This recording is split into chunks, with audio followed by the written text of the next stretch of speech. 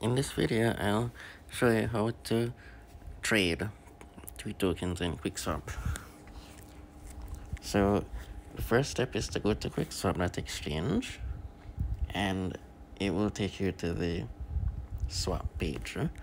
So it may prompt you, if you haven't already been there, to connect to your MetaMask wallet. And you'll also need to ensure that you're connected to the Polygon RPC network. So you can just check at the top of the screen where you're seeing whoops that exchange.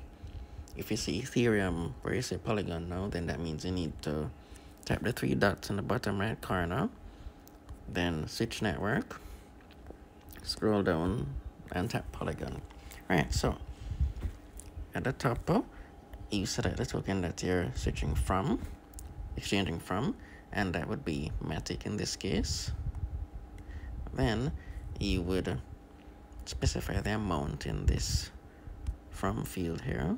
You could say 0.1 Matic, and then you can exchange that for many tokens. But let's use Quick for this example.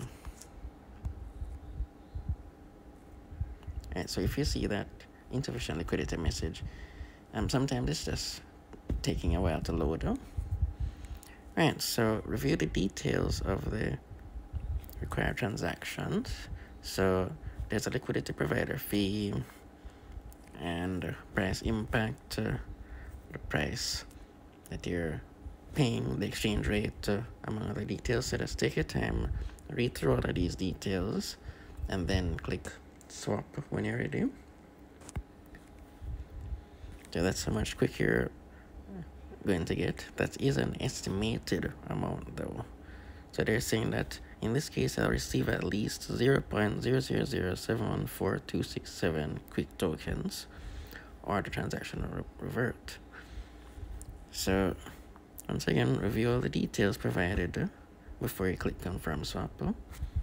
And if it says that the price was updated then just tap accept and then confirm swap. So your MetaMask wallet will bring up a prompt here. Review the estimated gas fee, which is in Matic.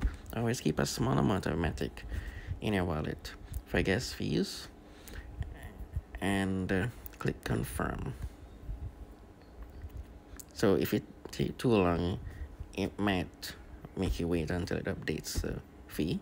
So click confirm. Right, and that's it.